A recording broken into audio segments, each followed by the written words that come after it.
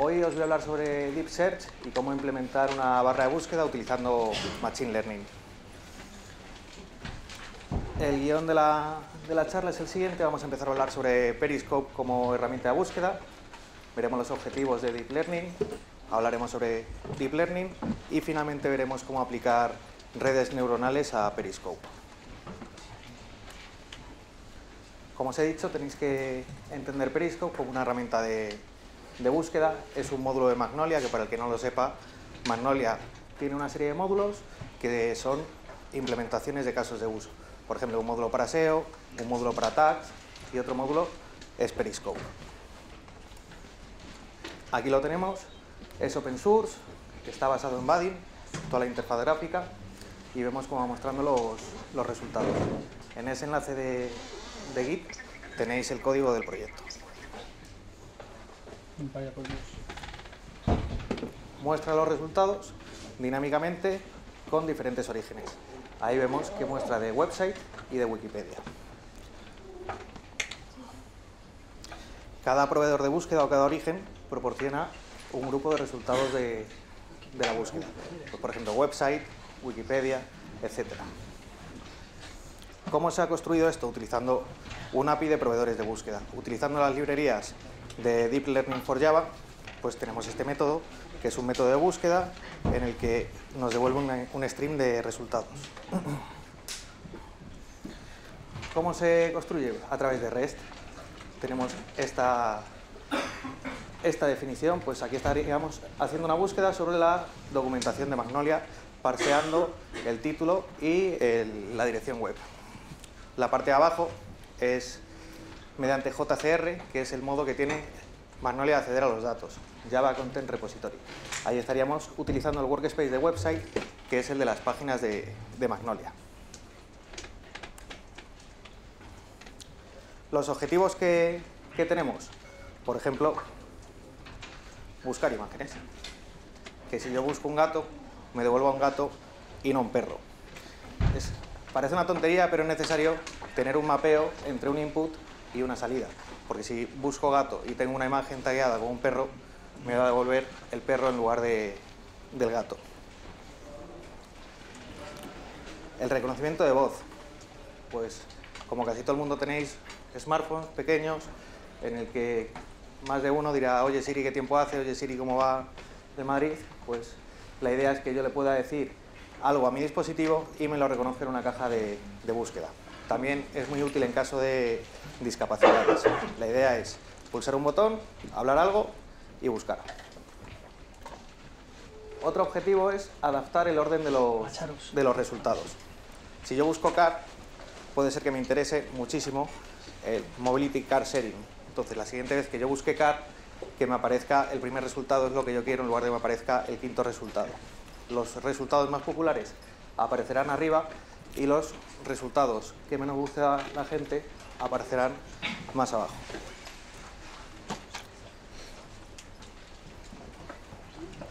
Vamos a hablar sobre Deep Learning. Dentro de la inteligencia artificial hay un subconjunto que es Machine Learning, que es una práctica que utiliza algoritmos para parsear datos, aprender de ellos y realizar predicciones sobre esos datos. Deep Learning, que es otro subconjunto dentro de Machine Learning, en el que se tienen redes neuronales modernas que aprenden aún más sobre esos datos. ¿Y cómo lo hacen? A través de capas de entrada, capas de salida y muchas capas ocultas. ¿Por qué se hace ahora todo el tema del Deep Learning? Hay más datos y tenemos hardware mejor que hace que eh, se reduzca la lógica computacional. ¿Qué podemos hacer?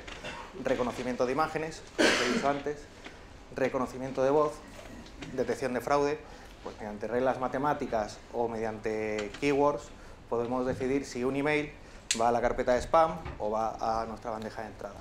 Y sistemas de recomendación, como puede tener Netflix. Más de uno habrá visto cuando ve una serie o una película, dice, ahora que has visto esta película, te recomiendo estas otras. Pues eso sería un sistema de recomendación que precisamente podría estar basado en Deep Learning. Hay tres tipos de aprendizaje. Uno es supervisado, que hay un profesor que indica al algoritmo estos son tus datos de entrada, estos son tus datos de salida. Entonces el algoritmo se aprendería, como diríamos en la escuela, de carrerilla, esta entrada es esta salida, y lo mapea. No supervisada es el lado opuesto. No hay ningún profesor humano, sino que el algoritmo es capaz de encontrar patrones ocultos dentro de, la dentro de los datos de entrada y realizar predicciones acerca de, de Entre medias de esas dos está la semisupervisada, que es en lo que está basado Periscope, en el que hay un profesor que enseña, pero como dirían en la escuela, es un profesor bueno, sino que enseña el camino solo y luego los alumnos van desarrollando.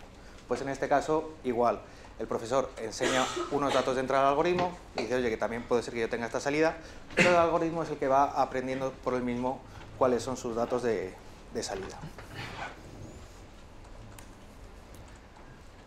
Ahora bien, hay un teorema importantísimo que dice que no hay nada como una comida gratis.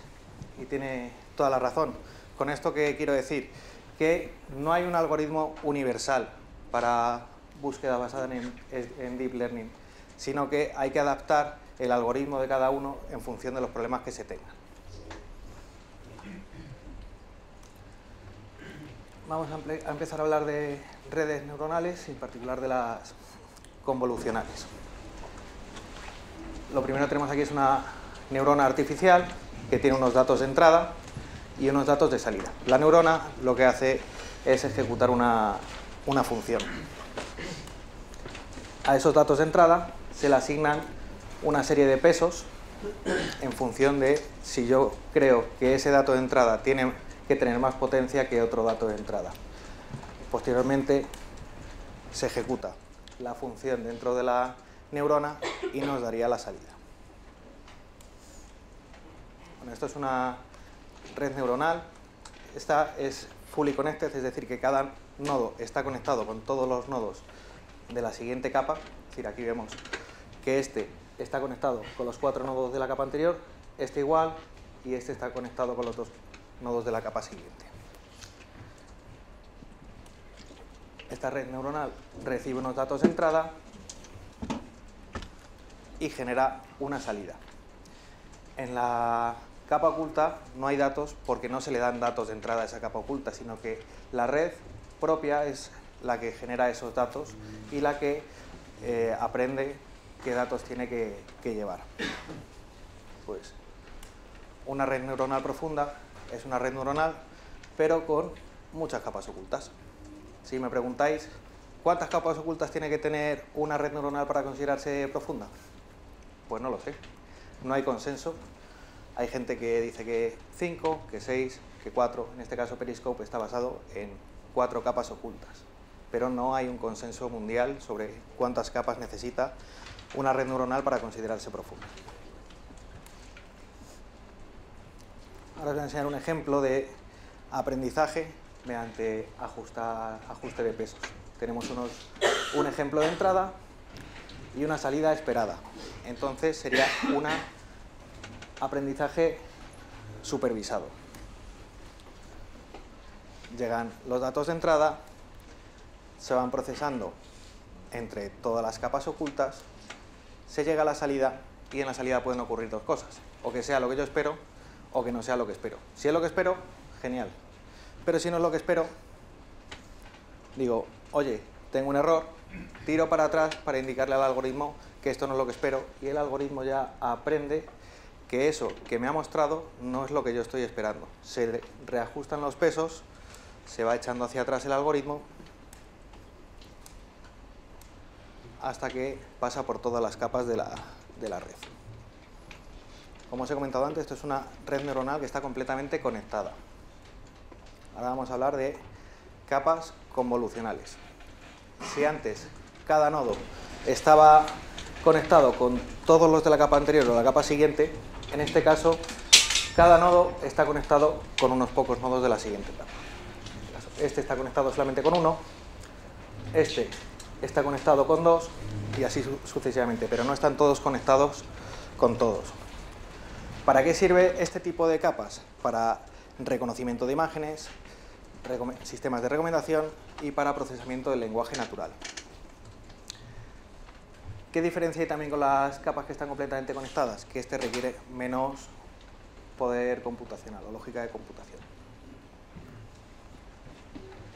Bueno, para el que pregunte qué es convolucional, viene la operación aritmética convolucional, que no nos vamos a poner a explicarlo aquí porque no tenemos pizarra y es bastante complejo. Pero podéis buscarlo, que es bastante interesante mirarlo.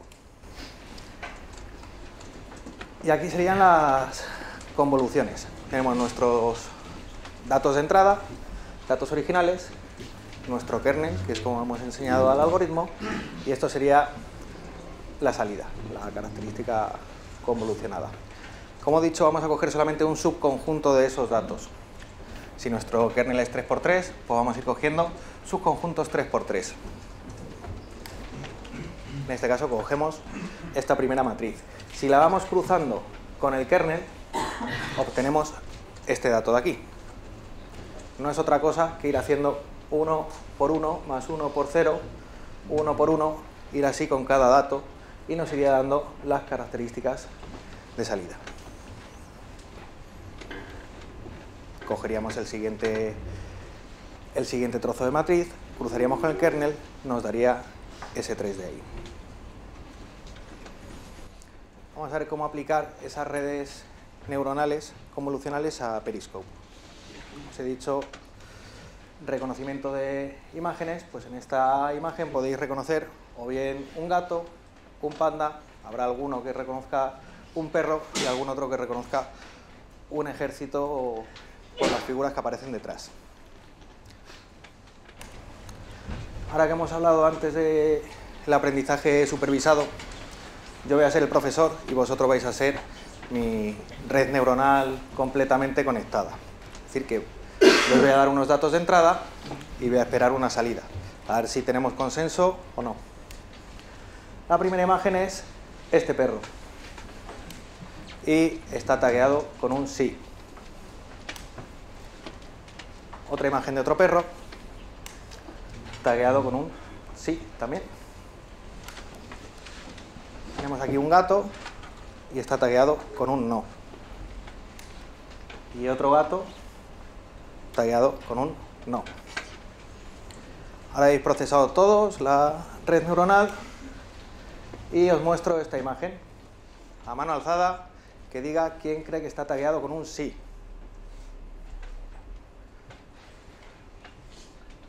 Más o menos 10, con un no, el resto. Vale. Pues en mi red neuronal no me interesaba realmente el lindo gatito, sino que me interesaba el sillón. En estas fotos había un sillón y en esta hay un sillón. Ahora vosotros, como red neuronal, todos los que habéis dicho que no, tendréis que ajustar los pesos y decir, no, realmente lo que queríamos era un sillón. Pero realmente, ¿cómo se consigue todo esto? Partiendo la imagen en trocitos. Si nos fijamos en el robot, solamente vamos a buscar su mano. Nos vamos a una capa inferior. En esa capa lo vamos a volver a partir en trocitos. Nos vamos a la siguiente capa. Partimos en trocitos hasta que tenemos unos trozos muy pequeños, casi a nivel de píxel, que uniéndolos nos va a decir, oye, eso es un robot. Eso que suena fatal y casi abstracto, lo mismo lo entendéis mejor con esto de aquí abajo. Cómo se puede ir juntando todo. Si yo digo, pues con esta línea de aquí, esta línea de aquí y esta línea de aquí, digo, joder, si lo que tengo es un ojo. Cojo esta otra línea de aquí, esta otra línea de aquí y este punto y digo, ahí va, tengo otro ojo. Cojo estas dos líneas, esto y esto, y digo, es una nariz. Digo, oye, que aquí tengo un ojo, otro ojo y una nariz, realmente lo que tengo es una cara. Es decir, cómo partiendo de partículas muy pequeñas acabamos uniendo todo hasta generar la salida.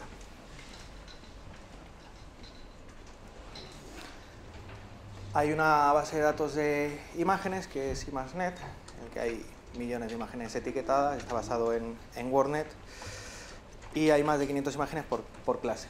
Lo bueno que tiene esta red es que tiene modelos preentrenados para poderse utilizar. De hecho, en Periscope utilizamos uno de ellos. ¿Para qué? Para que cuando yo subo una imagen de un gato a mi base de datos, me vaya a buscarlo a esa base de datos de ImageNet, me diga, oye, que es un gato, la siguiente vez que yo haga una búsqueda sea capaz de devolverme imágenes de gatos. La implementación de Magnolia utiliza el, módulo de Content Tags. Como se ha comentado antes, Magnolia está dividido en módulos que al final lo que resuelven son casos de uso. Pues este es otro módulo que permite añadir a un contenido algún número determinado de tags. Pues ese contenido puede ser una imagen, puede ser eh, un viaje, puede ser una página, lo que queramos. Hay tres implementaciones que se están utilizando además, el de ImageNet, de Amazon Recognition y Google Cloud. ¿Cómo funcionaría el reconocimiento de voz? Yo pulso el botón, le hablo y lo transcribe a la barra de búsqueda. Pero no es magia negra ni nada por el estilo, sino que utiliza el API de WebSpeech. Aquí teníamos el trozo de código. Fijaros en esto, que es que devuelvo el primer resultado que he detectado. No quiere decir que sea el perfecto. Y bueno, en Magnolia existe actualmente la limitación, más que de Magnolia, sino de, navegador, que solamente funciona para Chrome, ¿vale? Que es el que tiene esa librería. El, el adaptarle orden de los resultados es un aprendizaje online y dinámico y semi-supervisado. ¿Por qué semi-supervisado? Porque si yo escribo carg, le estoy diciendo al pinchar aquí que esto es lo que me interesa. Es decir, estoy enseñándole que esto es lo que yo quiero y esto va a ser lo que me suba a posiciones superiores. ¿Cómo lo hace? Enseñándole. Le digo, oye, tengo carg como entrada, quiero SBB cargo como salida tenemos nuestra capa de entrada, que es un array bidimensional de 128 por 15. 128 serían los caracteres ASCII y 15 los caracteres que admitimos de entrada. Es decir, si metemos 16 caracteres, nosotros vamos a truncar en el 15. Por más que sigamos metiendo, solamente vamos a hacer la búsqueda por los 15 caracteres. Esa sería nuestra entrada. tenemos carg, la posición C está en el 99 de ASCII, A en el 97, etcétera hemos dicho que vamos a hacer convoluciones. Pues, nuestras convoluciones son de 128 por 3, los 128 caracteres ASCII y los tres caracteres adyacentes a cada uno de ellos. En el ejemplo FUBAR cogemos FU, OB, OVA, BAR y AR. Y vamos convolucionando. Pues CA, tenemos ahí 3 por 128. ¿Dónde estaría la C? ¿Dónde estaría la A? Etcétera. Iríamos cruzando con nuestro kernel. Iríamos pasando por las diferentes etapas. Esto al final, si yo busco carg, nos va a dar una capa de salida. ¿Con qué? Con una serie de resultados y cada uno de esos resultados con unos pesos en función de qué es lo que cree el algoritmo que tiene más relevancia o no. Aquí lo tenemos. Realmente lo que queríamos en un principio era es cargo al meter carg. Pues eso va a ser lo que le dé más peso al algoritmo. los n resultados es todo lo que nos devuelve. Y el valor siempre va a estar entre 0 y 1. Cuanto más aproxime a 1, más relevancia va a tener. Cuanto menos, menos relevancia. Al final hay que enseñarle de algún modo al algoritmo y cómo se le enseña con ejemplos. Le damos nuestra entrada, nuestra matriz de entrada que hemos visto antes y ese algoritmo nos va a devolver la salida. En este caso a mí me interesa que cargo, cargo sea lo que más relevancia tenga. Entonces voy a estar entrenando al algoritmo continuamente para eso. ¿Qué tipo de aprendizaje sería? Semisupervisado. La configuración que tenemos en, Periscope, como os dije antes, había cuatro capas ocultas, la entrada, la convolución y finalmente la, la capa de salida. Vamos a ver un poco una demo.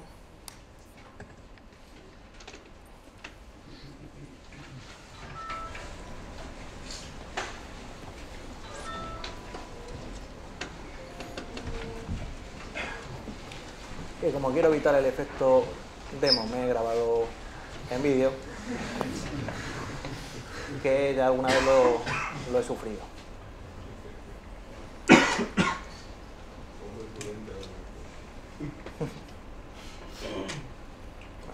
se puede poner aquí a pantalla completa. Bueno, para el que no lo conozca, esta es la interfaz de, usuario de, Magnolia. Se ve un poco mal. Esto de aquí sería la aplicación de, Periscope, que ahora veremos, que es una, barra de búsqueda. Y eso es la aplicación de, assets, en que yo voy a subir un asset y automáticamente lo va a taggear. Ahí selecciono a George Clooney. ¿Qué creéis que va a identificar el algoritmo? ¿Qué tag pondrá? Nespresso. ¿Está bien? ¿Alguno más? Aparte de Nespresso. Médico. Hombre. Guaperas dicen por ahí. Vale, ahí veis que no tiene ningún tag metido. Está guardando. Vale. Pues siento decepcionado que esperaba guaperas como tag, pero lo que identifica realmente aquí no se ve muy bien es el estetoscopio que lleva. O sea, ha detectado esto de aquí. Nespresso tampoco lo ha identificado, porque no tenía la taza de café. Vale, ahí aparece estetoscopio. Si ahora me voy y subo otro asset,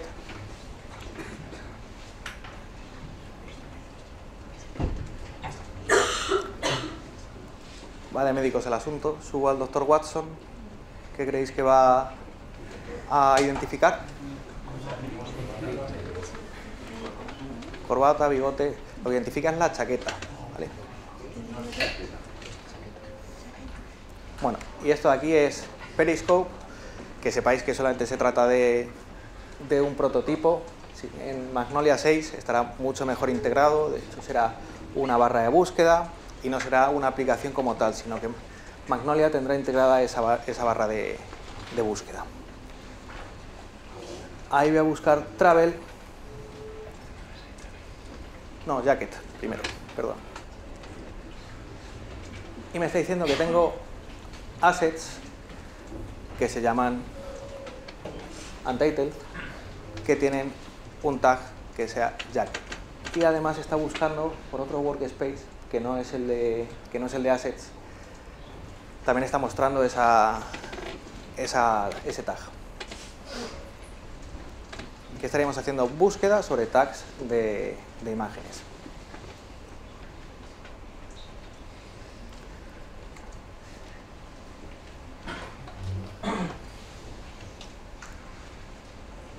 Ahí he puesto estetoscopio, creo.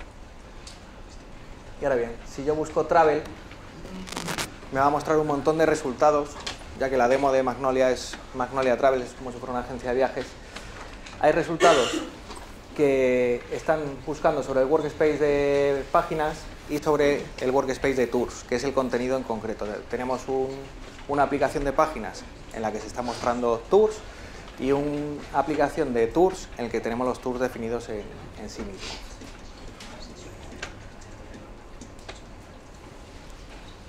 Ahí como veis he seleccionado un resultado que estaba muy abajo, que es Vietnam, me lo localiza, vuelvo a Periscope y al buscar otra vez Travel, Vietnam lo ha subido porque previamente yo lo había seleccionado.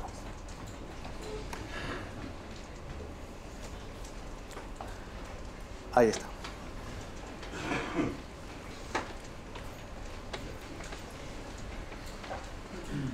Vuelvo a, seleccionar el tour. Y vuelvo a buscar travel aún creo que ha subido un poco más Vietnam. Ya os digo que para, para Magnolia 6 estará completamente integrado incluido el reconocimiento de voz. Le podremos decir ábreme la aplicación de páginas ábreme la aplicación de assets etcétera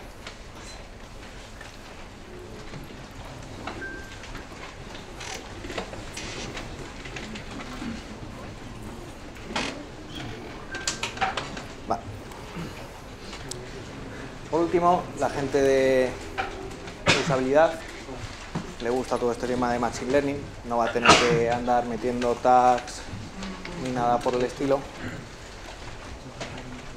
La práctica de Deep Learning ha madurado bastante, por lo que os había comentado, tenemos un hardware más, más rápido, tenemos mejores herramientas y ahora es el momento de que se utilice todo el tema del Machine Learning. Creo que era esta sala solo la que hablaba sobre Machine Learning en esta conferencia, ¿no? No había ninguna charla más. Y las barreras de entrada son mucho menores. Nada más, muchas gracias. Aquí tenéis mi email por si necesitáis.